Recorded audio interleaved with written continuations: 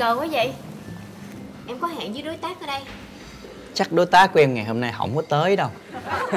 Vậy em có hẹn mà ta? Không có đổi lịch rồi. Anh có nói thư ký đổi lịch rồi và ngày hôm nay cái người gặp em là anh đó. À dạ vậy em xin phép về công ty trước ha. Không có đâu. Dạ.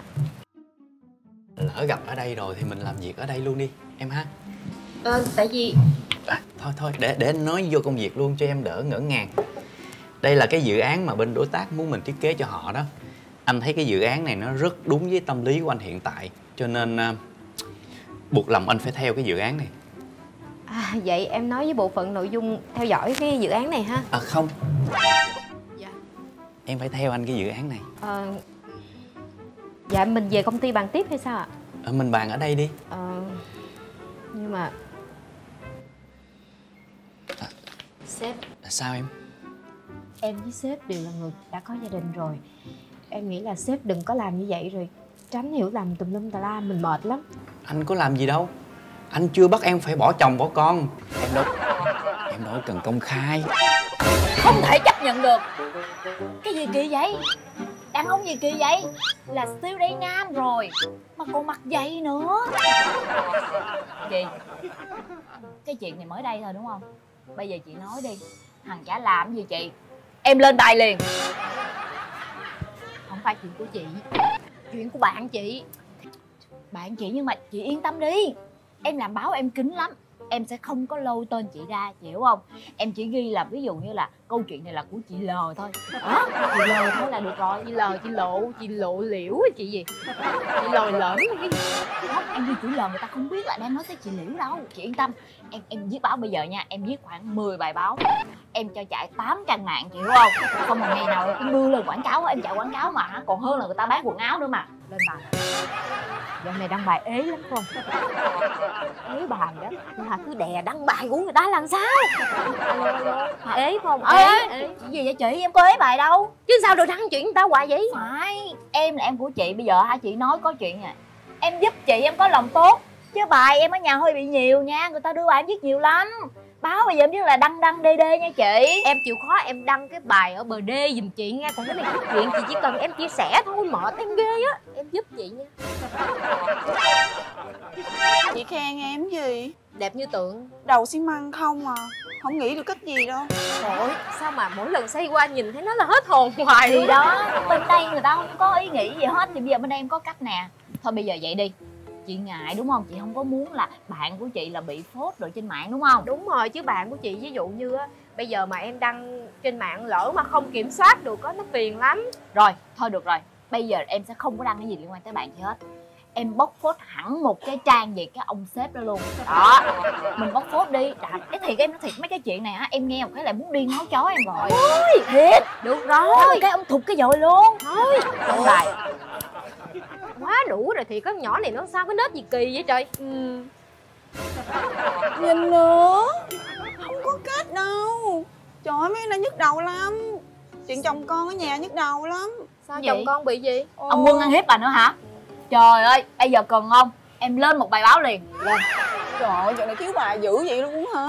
Anh quân làm gì ăn hiếp gì mà bực bội đây? Ừ. chị đó nghe coi. Ông Quân đòi mua cái nồi chiên không dầu. Mà bây giờ chị vừa mới hết hợp đồng của học sinh Xong rồi á học sinh đi du học đâu có học lại nữa đâu. Cái là hụt tiền đâu có tiền mua được. Xong về nhằn em á chị. Trời ơi đàn ông gì kỳ quá chồng con mà kỳ ghê á. Bây giờ mình thích cái gì á mình tự bỏ tiền ra mình mua đi. Ở nhà ở không á mà hả cứ sai vợ này kia đâu có được. Bây giờ này yên tâm đi tôi viết miễn phí cho. Viết một bài báo là ông chồng ở không sai vợ này nọ kia. Bớt viết được không? Vanessa KR, lớp nền hoàn hảo cho làn da của bạn.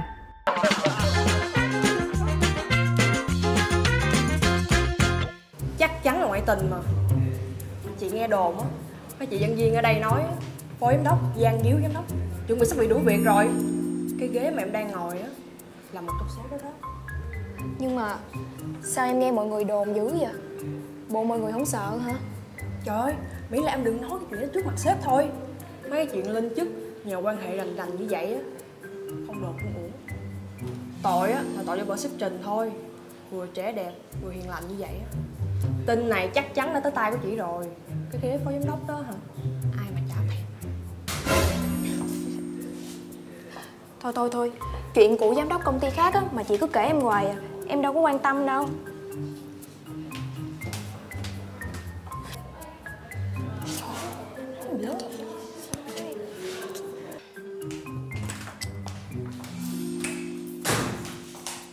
Sao anh để cho vợ anh biết chuyện luôn rồi?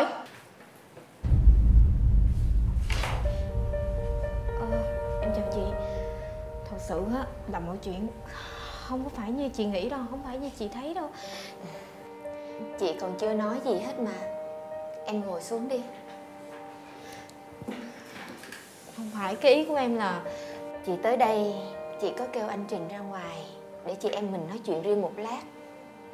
Có tiện cho em không? Dạ được chị. Thật ra ờ, mọi chuyện không có như chị thấy Không có như chị nghe đâu ạ. Em Chị biết rồi. Email gửi về cho chị rất là nhiều. Hôm nay chị tới đây. Chị muốn em giúp chị Xử lý triệt để những cái tin đồn này. Ý của chị là Em Em là người mà anh Trình rất tin tưởng.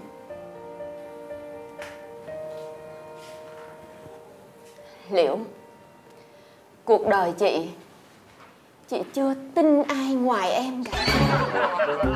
Bởi vì chồng chị tin em. Chồng chị đã cất nhắc em lên vị trí cao như thế này. Thì chắc chắn em là một người rất xứng đáng. Do đó, Chỉ có em thôi. Chỉ có em mới diệt được tất cả những cái phần tử xấu xa đang trà trộn trong công ty này của anh Trình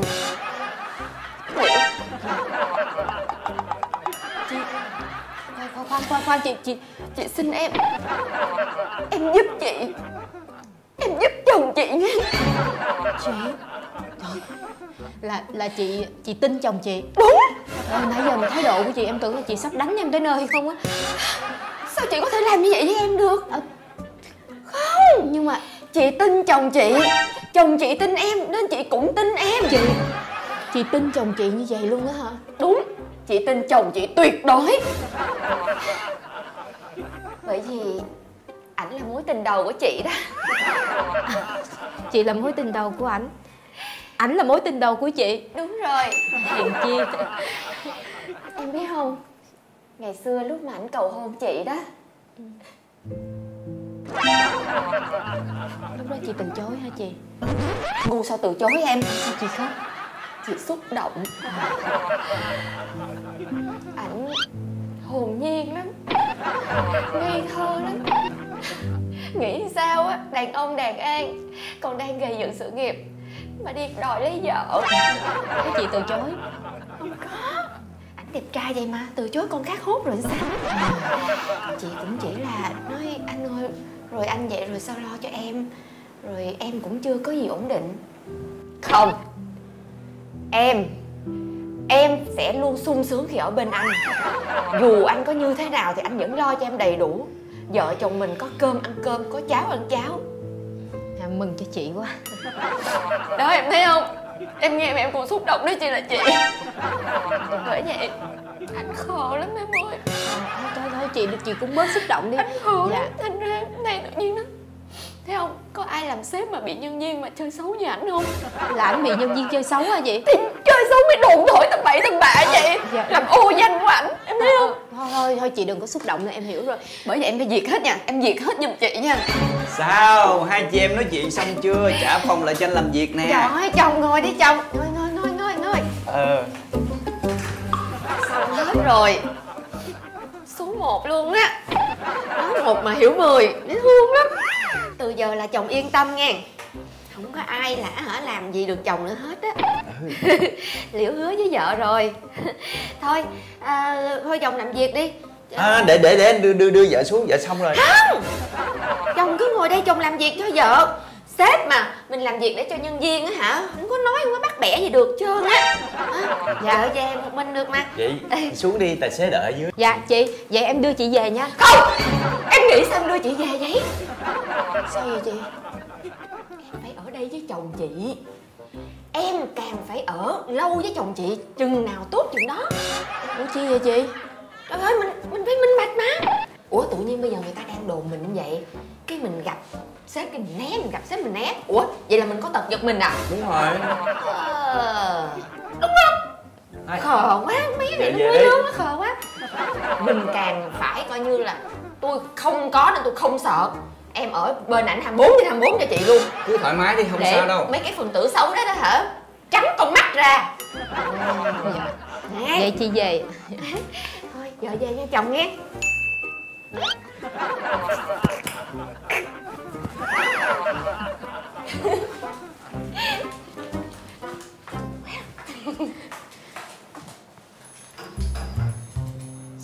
Ồ, cái màn vừa ấn tượng không trời ơi sếp không thấy áy náy với vợ hả?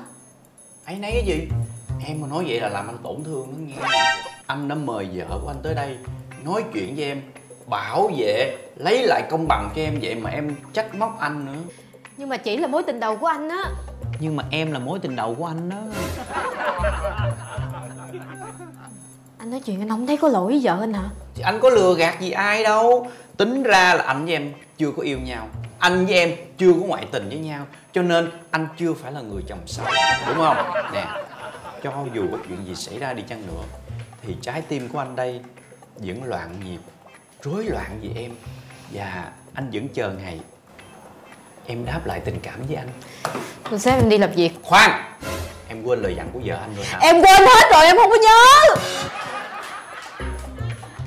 Thôi chết tôi rồi càng ngày tôi càng si mê cổ làm sao bây giờ?